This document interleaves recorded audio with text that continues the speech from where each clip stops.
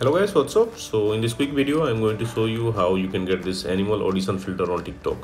So i'm in tiktok camera to get this effect go here. This is the effects gallery.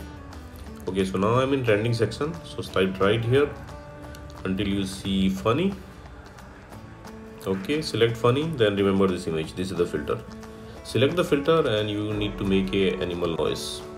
Okay let's make cat. Meow. Okay and that's it.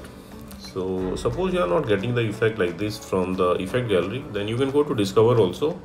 And here you can search for animal audition. Okay and on the first row as you can see the effect icon is there. Tap there. And you will be directed to the effect page. Now from here you can add it to your favorites.